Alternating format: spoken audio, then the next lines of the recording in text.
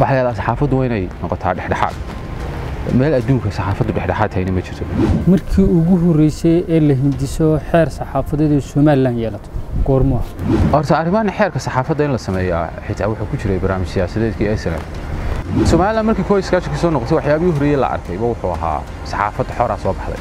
Marka waa in saxaafadda xorriyaddeeda iyo jiritaankeedana loo fahmay inay tahay tu dastuuriya oo dastuurka ku asaysan sida awoodaha madaxweynaha iyo golaha wakiiladu way ugu qoran tahay. Laakiin guleed xeerku jaranjarooyin buu maray oo baarlamaankuu maray oo daahiryaalo laftarkiisu uu ansixiyey maxaa caqabad ku noqday? Waxaa xukuumadaha somalilan daahiriyaalaba ka soo bilowo la dhalatay ilaa hadda odayga jooga ay ka siman yihiin ba inaanay jeclayn saxaafadda xorta waayo saxaafadda xorta qodqod bay samaysaa wax bay baadhaa marka ma garan karo midda kale ciidan waxay uga jeedaan ma naqaano.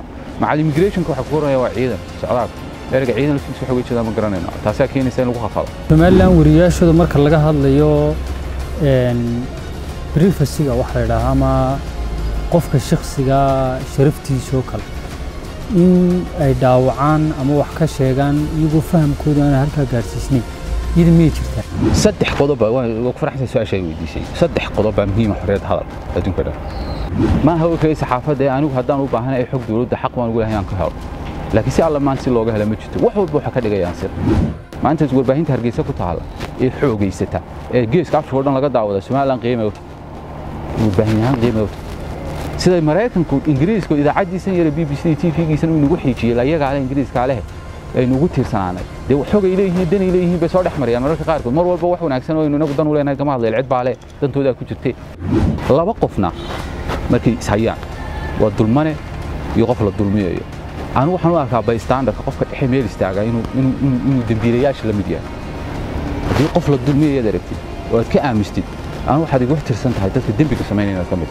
Mar haddaad odhan karaysid qofkaasi waa dulmane kaasina waa daalin dhex أنا أقول لك من حلاوة وضو مالك برأس ماير وسير وسير أقاسيمة وسير كوكين دوك كسينة دوك حلانة وضو مالك ما بقى ريان با وربا هنتا كشي أقام با وما أكان قلط با داد كي نفرينتو آنو ما قرانا يو أقوان دخل انتا لاغ ماشي كتنو يو برير وحتى ما كلا قرانا ما قريان. ما أنت بي بي سيدو يا حيري. ما محكمة با حيري وزير با حيري. سو حيري فلا وزير institution. ما محكمة با أولد الله